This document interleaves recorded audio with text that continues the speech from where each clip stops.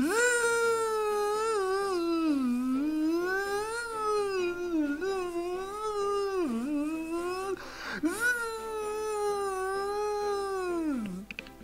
det må jeg undskylde. Hej, godmorgen YouTube, og velkommen til... Jeg... Skifter lige hånd. Godmorgen YouTube, og velkommen til... Jeg havde noget bøvl med havetraktoren sidste uge, sidste weekend. Og der vil jeg egentlig faktisk bare gerne have lov at samle op på det, fordi nu har jeg sendt fire clips op. Og hvad er det om? Jamen det er om Brian, der bøvler med en havetraktor. Hvad med at finde ud af, om det egentlig er løs om at fikse den havetraktor? Og det kunne jeg egentlig også godt selv tænke mig at finde ud af. Græsset, det bliver saftsus med ikke kortere. Nej, og det gør mælkebøtterne sjov nok heller ikke. Nogle banditter. Uh, nej, you banditters. Så jeg tænker lidt, at vi skal ud og se, om vi kan få fundet sådan en... Hvad hedder det? En batteria diarrhea. I hvert fald bare et batteri til havetraktoren. Det er det, jeg tænker. Så velkommen til. Det er det, jeg vil kaste mig ud i i dag. Og hvis jeg er heldig, så er der en lille sidegevinst. Hvilket jeg håber selvfølgelig. Det må vi se på. Er altid godt at holde noget skjult. Så vi er dem, der skal ud og kigge på en havetraktor. Pille batteri i dag. Så er jeg altså advaret. I kan godt gå hen og blive lidt våde ud. Men der er ingen dårlig vejr, og kun dårlig påklædning. Nej, jeg har ikke været spejder. Eller, jo, det har jeg faktisk. ikke særlig længe, fordi jeg fik ikke kniv med det samme. Så det har jeg ikke, det har jeg ikke lyst til. Og gik over i Taekwondo-klubben i stedet for. Og der var jeg heller ikke særlig længe, fordi der fik jeg tæsk. Nå.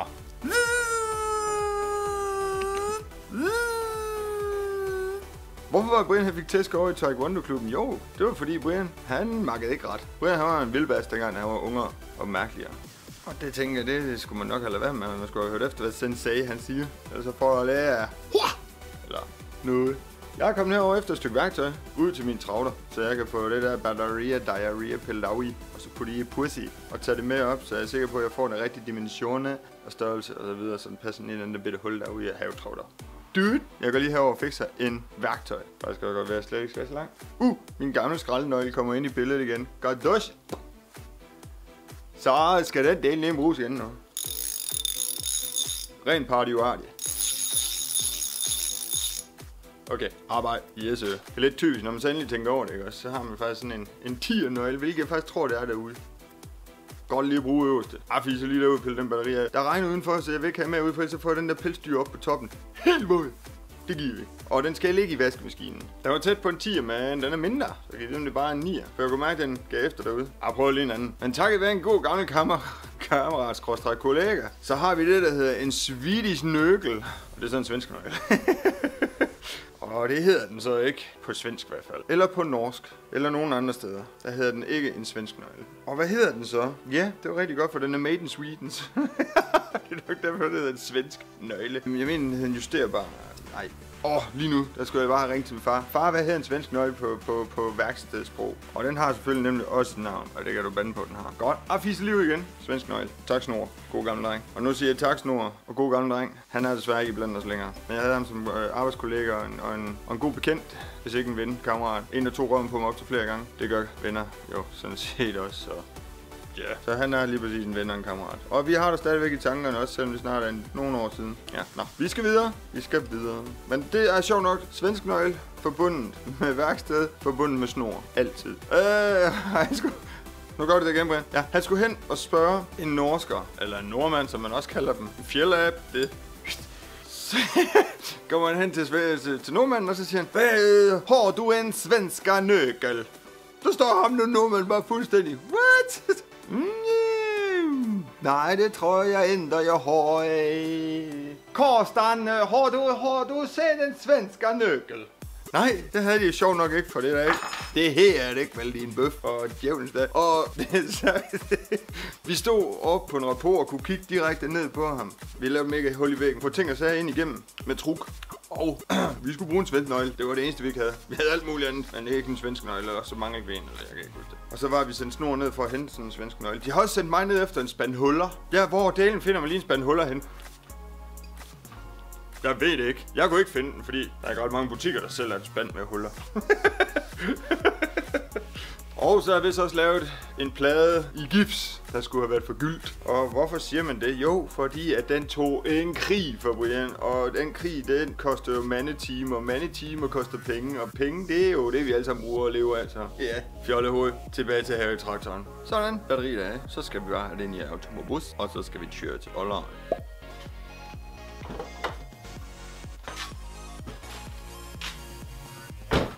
Øh, sådan. Så skal jeg lige have den her. Går lige over, og så får jeg smidt noget vasketøj her. Så er det nemlig færdigt med at komme ind. Håber jeg på. Og hvis ikke, så går det nok også. Og nogle andre sko. Så det gør jeg lige. Det derovre.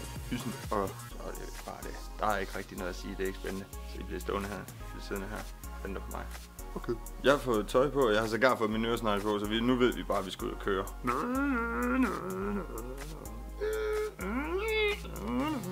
Jeg ved ikke, om jeg sidder sådan her bag et ret. Det gør jeg til dagligt, ikke? Det virker ret anspændende. Så det øh, lader man selvfølgelig bare være med. Så sidder man bare, som man gør i en automobus. Så lad os komme afsted afsted.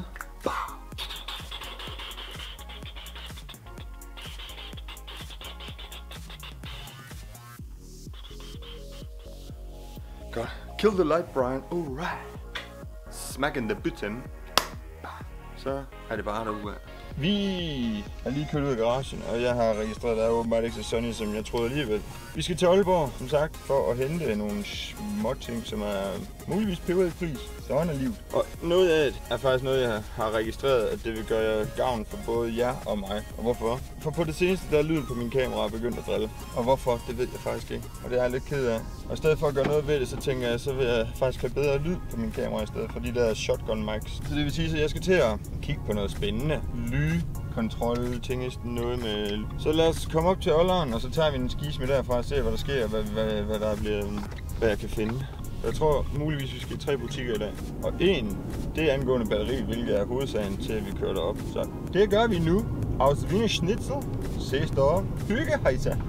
Sådan YouTube. Vi er lige fremme ved en butik, der hedder det er lige meget, så det er ikke reklame. Så jeg går ind og så bruger jeg min egen penge på det her pjat her, for at gøre jeres lyd bedre, fordi det, det, det, det driller mig altså rigtig meget. og Det betyder meget for mig redigering, og jeg kan ikke gøre en skik ved det. Så nu går vi lige ind og så ser, hvad vi kan gøre herinde, og hvad sådan en det kommer til at koste.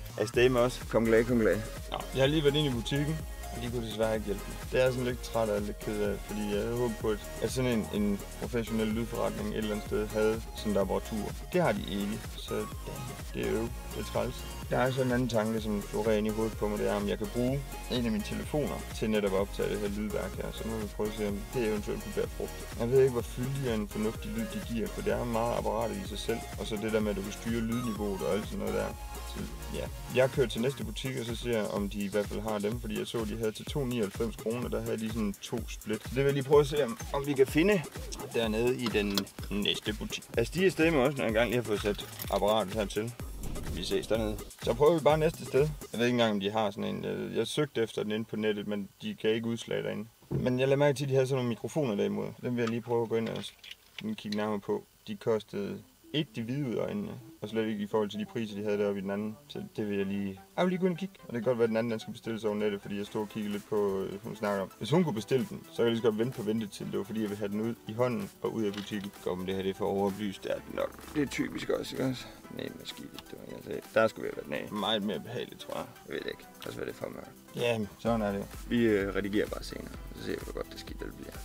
Jeg er lige kommet ud af den sidste butik, og vi har desværre ikke haft held med os i dag. Det har faktisk været ret frustrerende, men nok alle tilstår. Og så er solen også kommet frem for fuld skrue.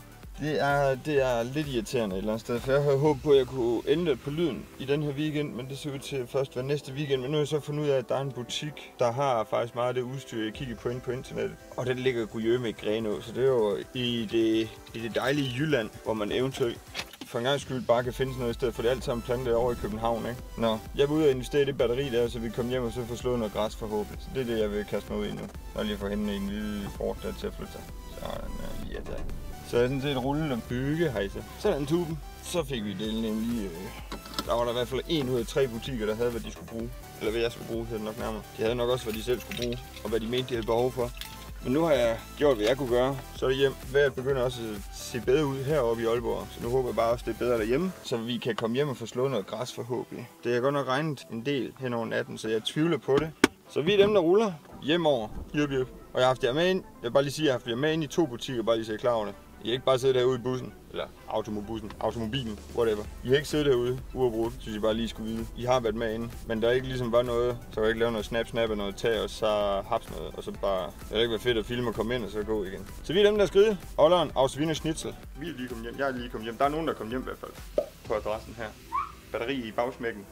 Lad os få, øh, lad os få det taget ud, og så smidt ind i... Så lad os få det smidt i travdøren. Det vil nok en god idé, tænker jeg det, jeg gør nu. Så jeg kan få slået det græs, inden der kommer mere vand, håber jeg på. Det kunne være Lexit, der står her i, at der uh, skal den være... Det øh, gør jeg nu. Hygge. Hvorfor skal de hygge, Brian? Du er ikke færdig med dem. Skal du se et batteri sætte på? Det er rigtigt. Det skal vi. Det er ikke noget med hygge. Bare, hvad skal den være der? Og den her gang, der skal nok huske en bedre vinkel til jer, fordi sidste gang, det var helt HT. I kiggede på en kølehjelm eller andet. Så den her gang, der skal nok huske at trække jeres fokus ned til traktoren, så I kan se, hvad djævlen der foregår. Nu piller vi ikke ved motoren, der er ikke noget, der kan eksplodere, der er ikke noget, der går galt. Så det er bare lige som det skal være. Så lad os hente den banditten. Problemet her, det er faktisk, at Brian han fik ikke den sidste bold ud derfra, så jeg har egentlig ikke rigtig noget at montere min nye, min nye batteri med i forhold til kabler videre. For det fulgte ikke med. Så jeg skal lige have fundet en, en løsning inde i Workstate. Det gør jeg lige. Hvis I har lidt ekstra lyd herude, så er det naboen, der laver noget over i hans have, og nogen over på den anden side af vejen, der spiller noget musik med noget boing boing lyd i. Men nu kører vi bare derude af. Batteriet står der på siden. Som jeg sagde før, så har det altså ikke sådan en ting der. Så jeg har skaffet de her to her. Det bliver tossigt godt. Det kan jeg allerede mærke.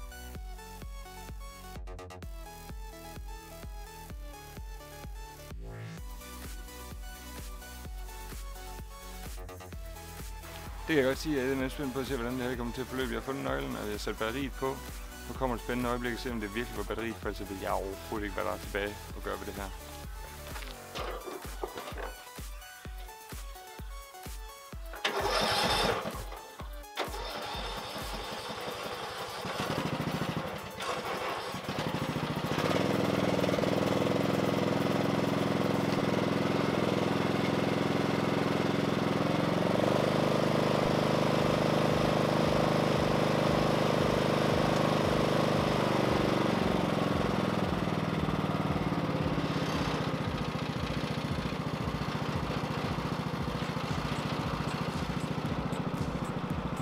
Yes, og det virkede. Og det er fedt. Og det er godt. Så skal der med en flås noget græs. Fedt! Lad os komme i sving, mand.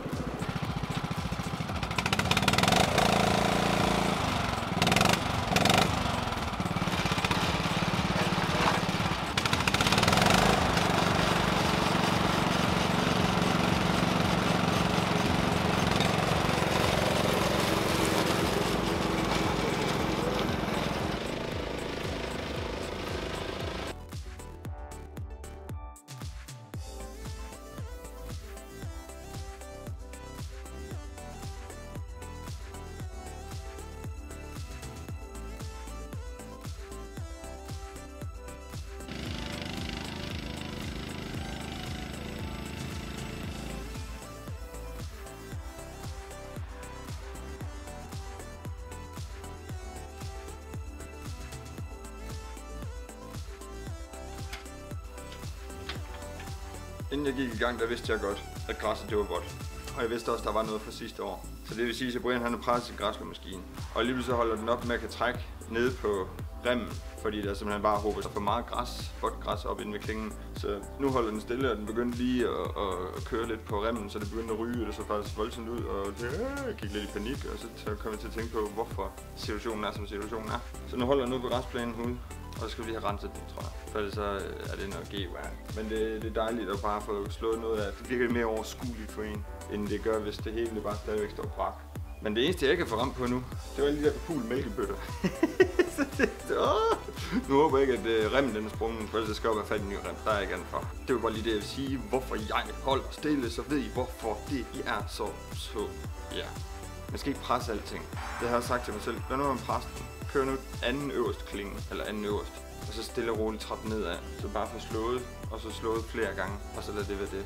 Men nej, jeg har travlt, jeg har travlt, jeg, øh, var travlt. Så hmm. ud at rense. Jeg. Tror nok. Godt. Jeg har, løftet, jeg har løftet den op hernede bagved mig, og jeg har renset ud under den. Så må vi se, om det kan blive godt til et eller andet. Og jeg var godt nok ved at gå lidt i panik, men jeg tror faktisk bare, at det er det, der skete. Den blev lidt overophedet, og så i stedet for at brænde den over, så skyndte jeg mig at slukke den og, og koble fra. Og, og jeg er heller ikke vant til maskinen, så det tog også lige lidt tid. Så... Men vi giver den lige et forsøg nu her, så ser vi, hvordan det går. Og for at I ikke skal se endnu en, mis- en, øh, en fejllykkelse for mig, altså, får I ikke lov til at se det. Men hvis vi ikke ses mere, så ved I hvorfor. Så gik det jo nok ikke som planlagt. Og der hænger bare mørke skyer derude. Græsset er vådt og alt muligt. Det er slet ikke, det er slet ikke normale omstændigheder at slå græs rundt.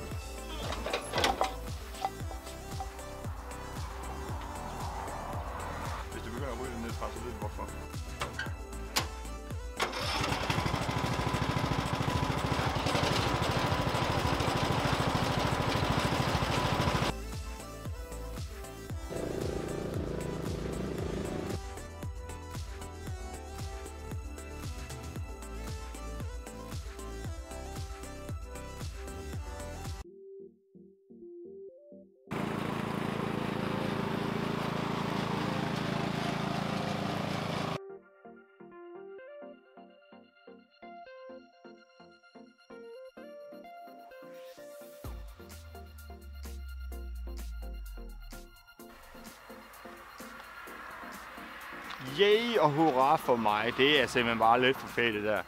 Sejren over restplænen er min. In your face mælkebøtters.